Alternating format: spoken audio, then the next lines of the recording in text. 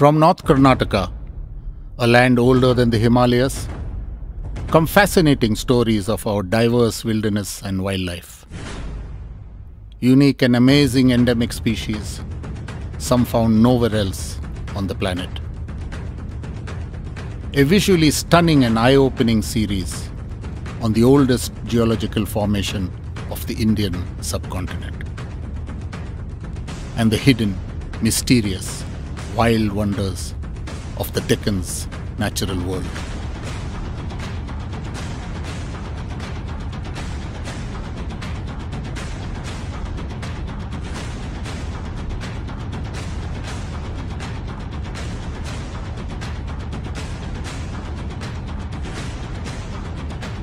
This is Koppal. This is our wildlife.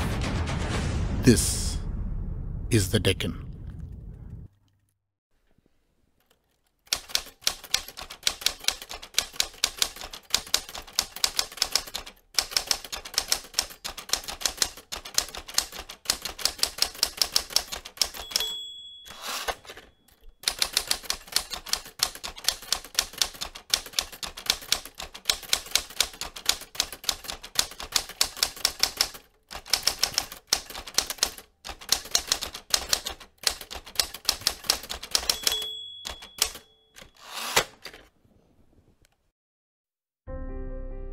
It was magical, truly magical. Around four years ago, stumbled upon by sheer accident, we at DCF discovered this amazing jewel, Magic Rock. It was one summer at 6:50 p.m. before dusk on 6 June 2016 to be exact that my trusted childhood companion Durgya with Rama or Wolfman as we call him looking for the elusive striped hyena, came face to face with a large adult male jungle cat, sitting just meters away on a rock. He was old and had one injured or infected eye.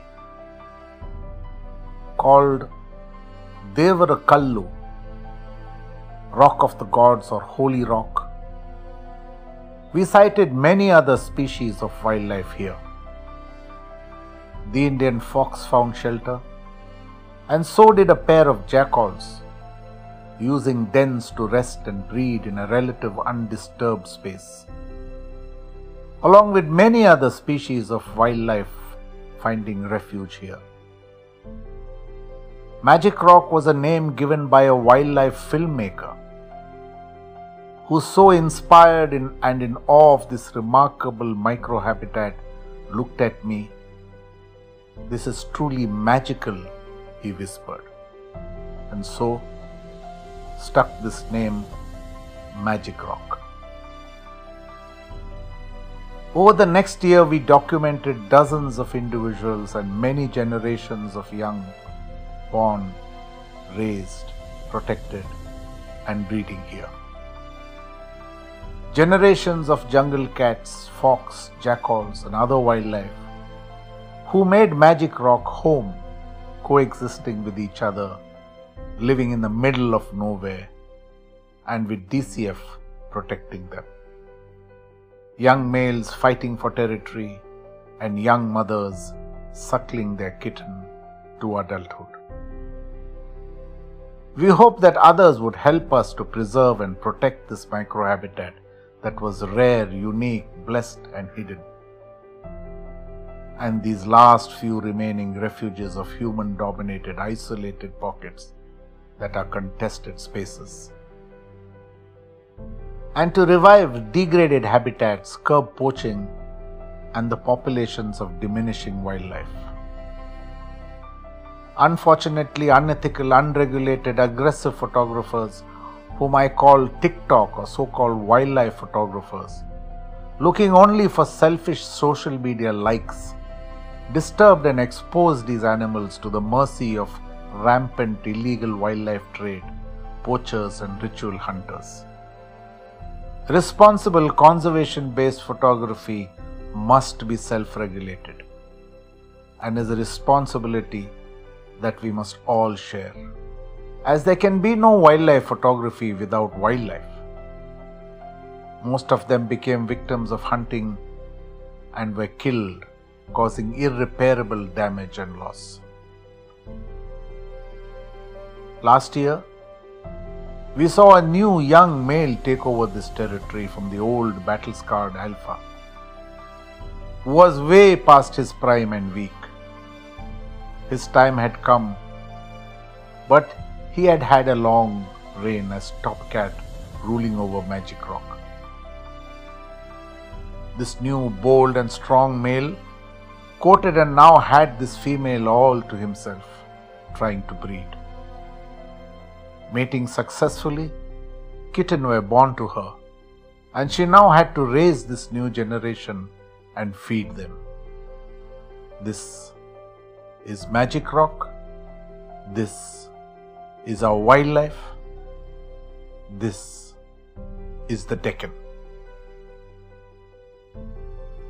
All was looking good for this new family till the pandemic hit us in February. Locking us out and unable to visit these protected patches, we could not monitor their well being.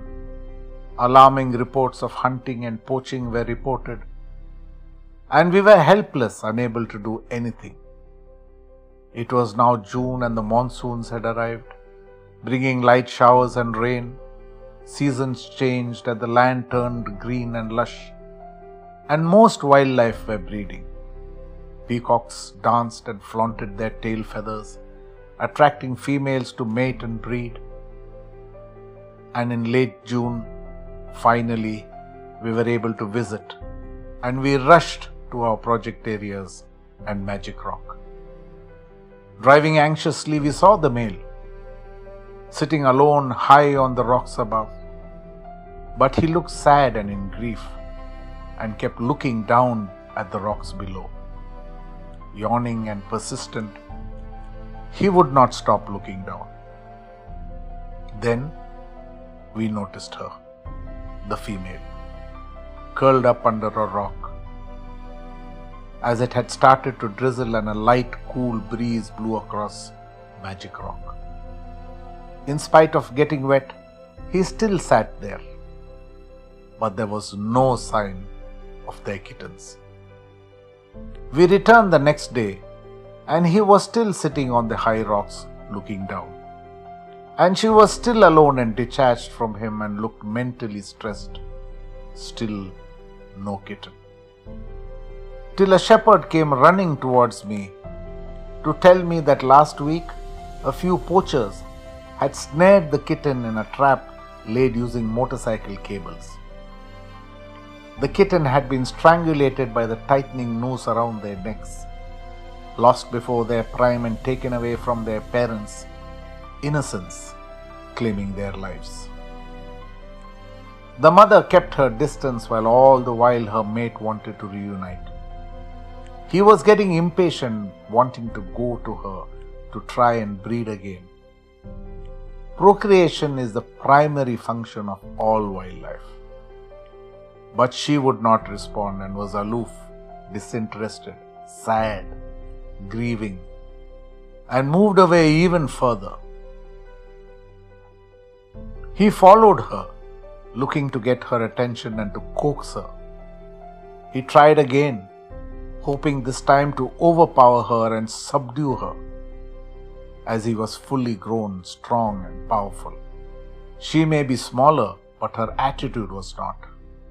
She fought back and repelled his advances, scratching and clawing him as she snarled and hissed at him. It was getting dark now, but she could still pick up his scent nearby and was alert and cautious. She knows he is not far away. He is seen climbing down from behind a rock and persists in his efforts to win her over and to try and mate tonight.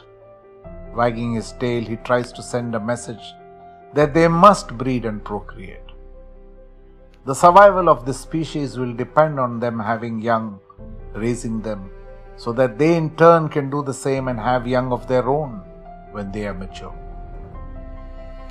She is still short tempered and warns him to stay away, hissing and purring aggressively.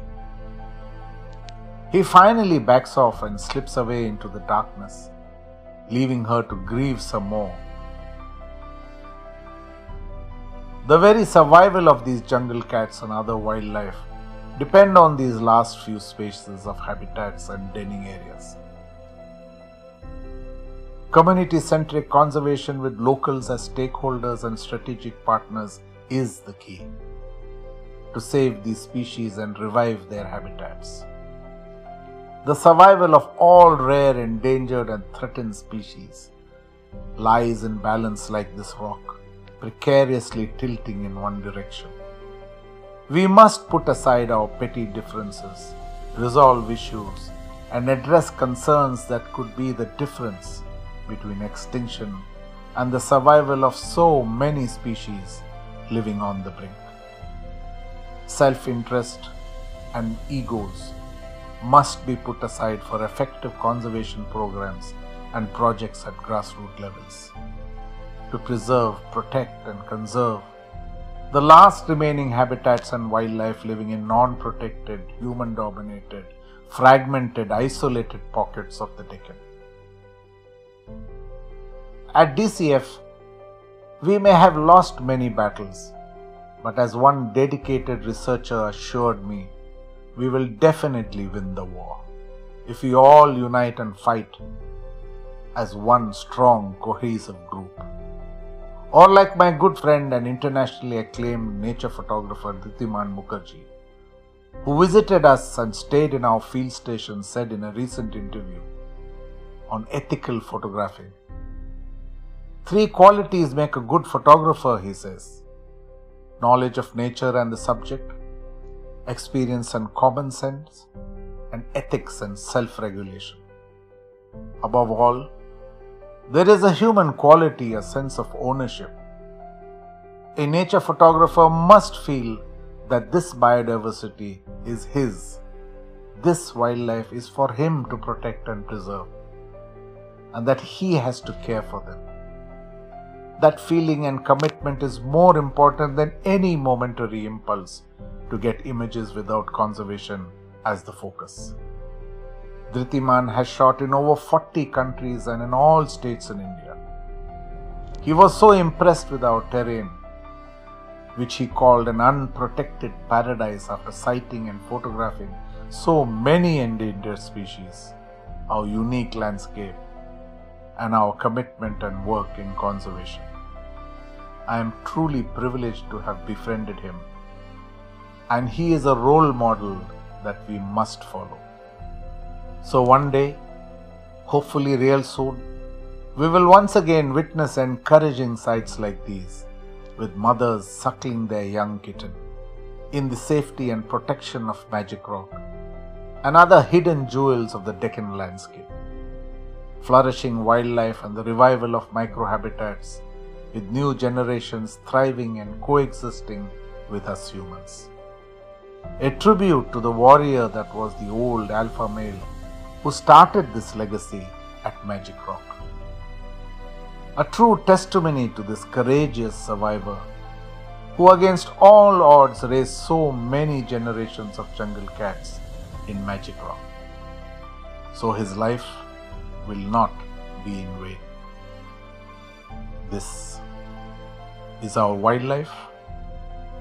This is our mission. This is the Deccan.